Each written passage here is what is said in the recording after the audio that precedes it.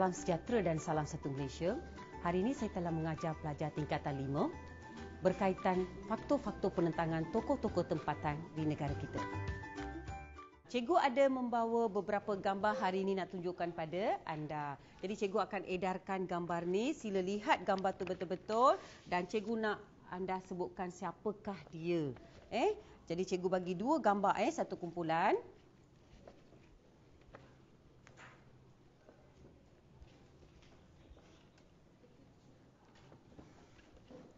Okey, sila lihat gambar tersebut.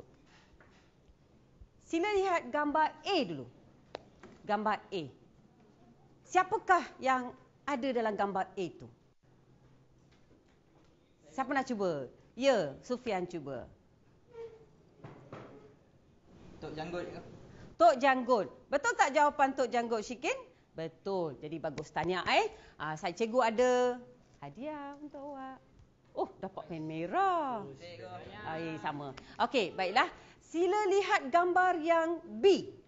Siapakah tokoh itu? Ya, Afiza. Rentap itu. Rentap. Betul tak rentap? Fitri, betul tak rentap? Betul ibu. Betul. Bagus. Tahniah Afiza. Afiza pula dapat pennya. Fitri tak dapat. Fitri cuma betulkan je. Okey. Ya. Tahniah. Eh. Jadi anda kenal tokoh-tokoh ataupun pejuang tempatan kita. Sekarang ni kita nak tahu. Pernah tak anda fikir? Kenapa mereka ni menentang British? Kenapa mereka nak berjuang? Kenapa nak menentang British ni? Jadi itulah pelajaran kita hari ini. Kita nak tahu dan cari maklumat dalam kumpulan mengapa mereka menentang British di negara kita. Boleh.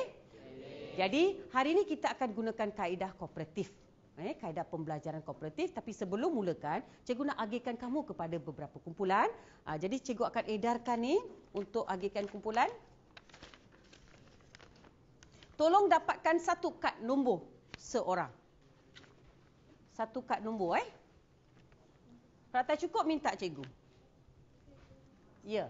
Ha, sila keluarkan kad nombor dan anda boleh gantungkan kad nombor itu kan berwarna-warni. Okey, baiklah. Sekarang kita nak bentukkan kumpulan baru mengikut nombor yang anda pilih tu. Okey, mengikut nombor yang anda pilih. Ada nombor 1, 2, 3 dan 4, betul? Okey, jadi sekarang kita nak gerak dan bentukkan kumpulan nombor 1 di sini, nombor 2 di situ, 3 dan 4. Cikgu beri awak 30 saat. Gerak cepat, jangan berlari. Gerak sekarang. Sila bawa uh, buku teks, bahan alat tulis semua bersama anda. Eh? Jangan tinggalkan. Okey, jadi sekarang saya nak setiap kumpulan, kalau ada kumpulan, kita mesti ada ketua, betul? Betul. Ha, jadi pilih seorang ketua. Siapakah ketuanya? Sila angkat tangan setiap kumpulan. Ketuanya angkat tangan. Okey, bagus. Saya nak ketua kumpulan ke depan. Datang ke depan. Dan pilih satu sampul surat ni yang ada tugasan. Okey. Ah, tinggal satu je Hafiza, tak ada pilihan. Okey, tak apa. Awak memang penyabar eh Hafiza. Okey, biarkan semua rakan ambil dulu eh.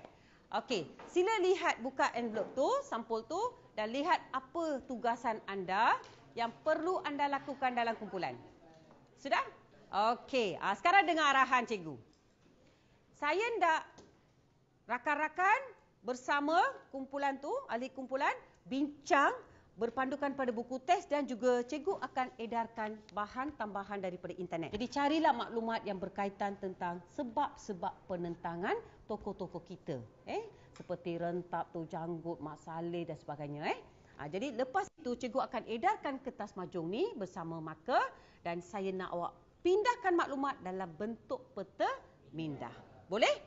Boleh. Eh? Okey, boleh mula berbincang bersama ahli kumpulan.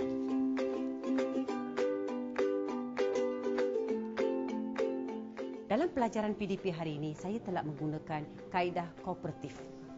Dalam kaedah ini, saya juga selipkan uh, interpersonal dan kinestetik dengan harapan pelajar dapat bergerak aktif dalam PDP.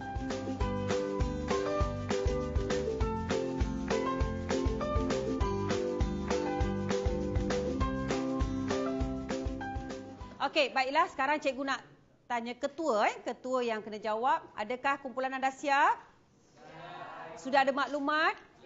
Sudah pindahkan maklumat dalam peta minda? Dan sudah bina soalan dua kumpulan yang terbabit tu? Okey, kalau sudah, aa, sekarang kita masa kita untuk membentangkan hasil yang kita dapat eh.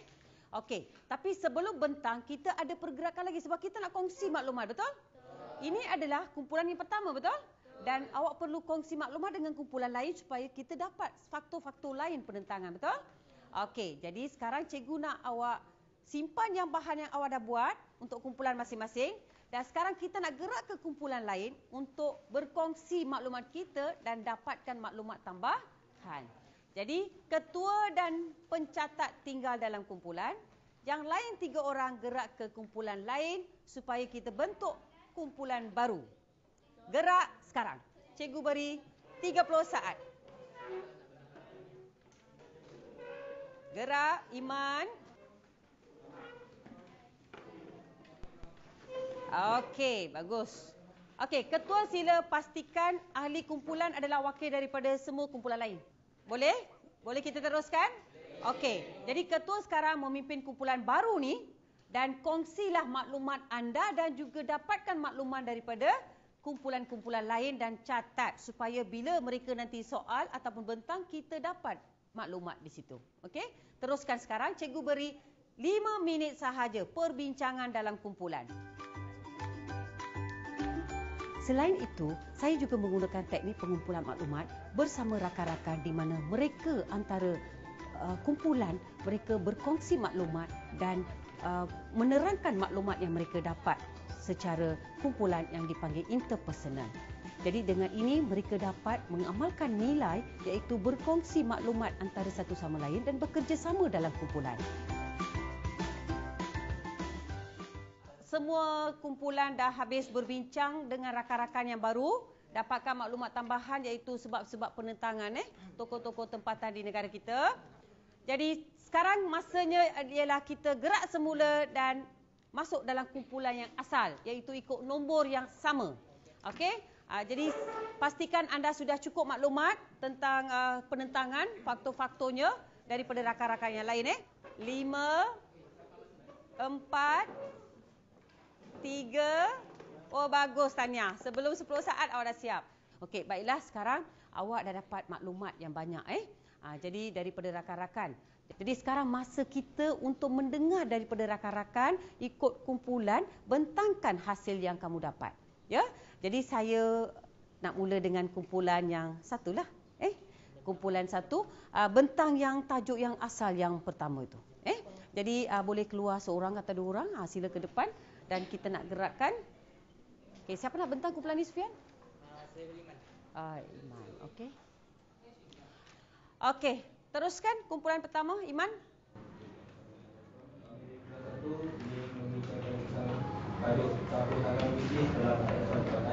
Ya. Yang satu, kenapa dia bentang ialah British masa mereka menerima nilai-nilai British yang berkaitan dengan dari masyarakat. Nombor dua, sebab ini ialah Contohnya, ciri dari reverse telah terpekankan dalam adat setahun masyarakat Melayu yang diamalkan sebelumnya iaitu amalan menggunakan orang surai. Isi yang ketiga ialah ini membuatkan penduduk tempatan tidak berbahasa hati dan menentang British. Okay, itu saja. Ya, Tahniah eh uh, kumpulan satu Sufian eh ketuanya dapat mencari maklumat. Di sini cikgu nak tanya eh satu soalan. JWW Bush campur tangan dalam adat resah masyarakat Melayu ni di mana eh? Peristiwa itu berlaku di mana? Ada idea siapa nak cuba? Ya, Fitri? Di Perak. Di Perak, betul. Bagus, Fitri. Eh? Ha, jadi maksudnya Fitri dapat uh, maklumat yang tepat lah. Eh? Okey, JWW Bush peristiwanya di Perak. Okey, tanya eh. Kumpulan pertama dapat jawab. Ada pertanyaan kumpulan lain? Pada mereka, ada pertanyaan? Okey, tak ada. Okey, tanya. Okey.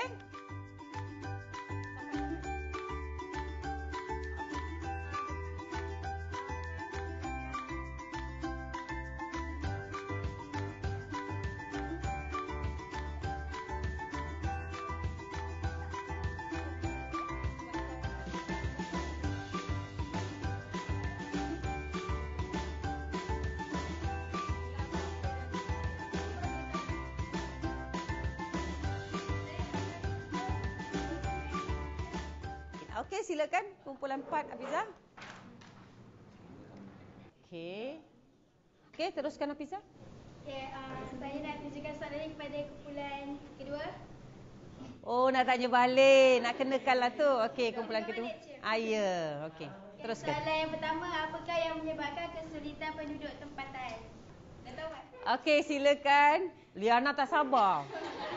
Okey, Liana. Apakah yang menyebabkan kesulitan penduduk tempatan pelaksanaan undang-undang British? Okey, boleh tak jelaskan apa pelaksanaan undang-undang British itu yang menyebabkan mereka sulit maksudnya apa? Susah eh? Hidup susah. Kesukaran. Ah, ya. Apa dia Liana? Pelaksanaan undang-undang seperti cukai. Ya. Okey, bayaran cukai dikenakan. Itu satu pelaksanaan. Okey, terima kasih Liana, Tania. Liana tengok nanti cik, ah, saya jawab, cikgu tak bagi apa-apa pun. Kan? Merah juga Liana. Okey, terima kasih. Okey, jadi soalan kedua. Bersedia kumpulan satu eh? Okey. Nyatakan faktor lain yang mendorong penduduk tempatan menentang British. Okey, faktor lain. Ah, siapa nak cuba kumpulan ni? Faktor lain dia uh, campur tangan British dalam adat resam. Itu memang tajuk dia. Ah, soalan ni soalan kebat tak? Adakah ini soalan kebat? Bukan eh. Ah, ini soalan fakta biasa eh. Kita nak tahu selain daripada yang uh, kesulitan penduduk, ada banyak faktor yang tadi kamu dapat. Salah satunya adalah campur tangan dalam adat resam eh. Okey, Tania, terima kasih. Cikgu ada sediakan tugasan iaitu soalan struktur dan juga soalan esei. Ah, jadi cikgu akan edarkan supaya anda boleh buat di rumah. Okey. Satu kumpulan satu nanti awak perbanyakkan ataupun uh, salinlah eh soalan tu. Okey. Uh, itu tak perlu jawab sekarang. Jadi uh, kita nak buat rumusan sikit apa yang kita belajar hari ini ialah tentang tokoh-tokoh tempatan dan juga faktor-faktor penentangan. Jadi anda dapat empat faktor penentangan iaitu satu, siapa nak jawab? Syarul boleh? Pentadbiran barat. Pentadbiran barat. Sistem pentadbiran barat satu betul tanya. Faktor yang kedua, siapa nak cuba? Ya Carmila. Campur tangan British dalam adat resam. Campur tangan British dalam adat resam. Pentadbiran barat campur tangan British. Dua lagi tinggal. Siapa nak cuba? Ya Nurul. Pembesar tempatan hilang kuasa dan pengaruh. Ya, pembesar tempatan hilang kuasa dan pengaruh. Yang keempat. Kesulitan penduduk tempatan. Kamu dapat empat, betul? Cikgu nak tambah dua lagi. Ada dua lagi. Okey, kalau kita lihat dalam sumber tu, ada dua lagi uh, faktornya yang menjadikan uh, orang tempatan menentang British. Apa dia? Satu adalah apa dia? Dasar penaklukan.